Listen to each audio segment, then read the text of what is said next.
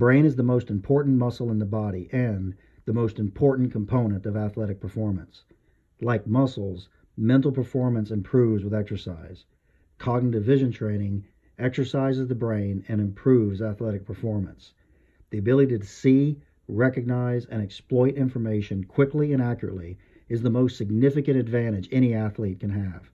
If the sport requires focus and concentration, then the vector ball can help improve the athlete's game. The game is mental. Train your brain.